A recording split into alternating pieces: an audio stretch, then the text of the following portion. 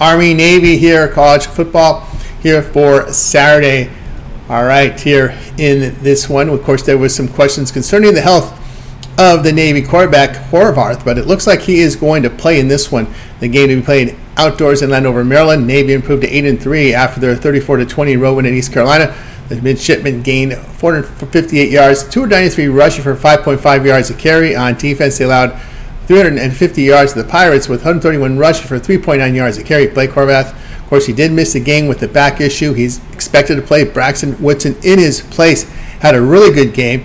Army 11-1. They beat Tulane at home 35 to 14 last week. The Black Knights put up 352 yards, 335 rushing for 5.9 yards a carry. On defense, they allowed 324 yards to the Green Wave with 115 rushing for 4 yards a carry.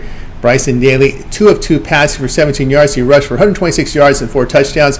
Blake Horvath, as we said, expected to play. He's completing 59% of his passes, 9.8 yards per pass attempt. He's rushed for 6.8 yards carry this year. Navy defense was in great form in their past three games by allowing 3.8 yards per rush, 59% completion rate. Black Knights in their past three games have allowed 29 points a game, 6 yards per rush, 8.5 yards per pass step. Navy is coming off a bye week with Army playing last week. The Black Knights have failed to cover four of six. The pick here will be on Navy at plus six.